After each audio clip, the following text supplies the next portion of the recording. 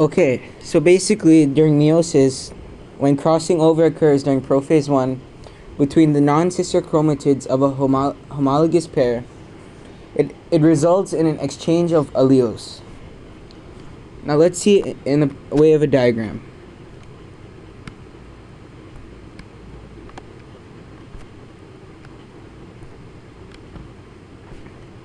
Here are our homologous pair of pairs of chromatids.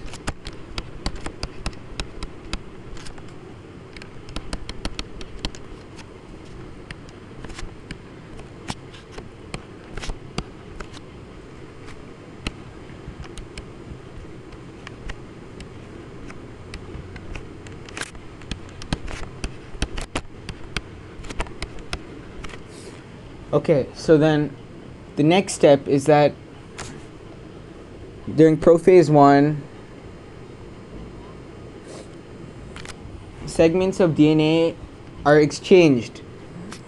This is what happens next.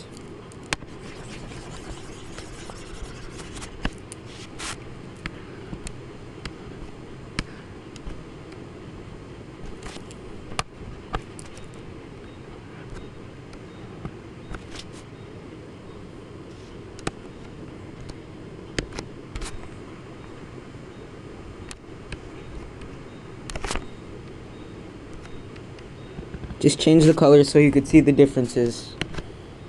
Differentiate between them. And over here, that's what we have as the one second chiasma. Basically the point where both the pairs touch.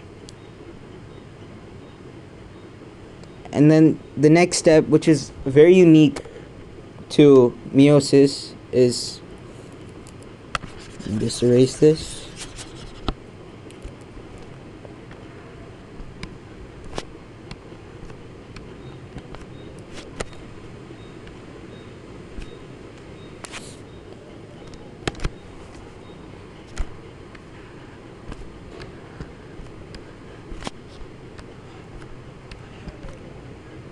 Basically,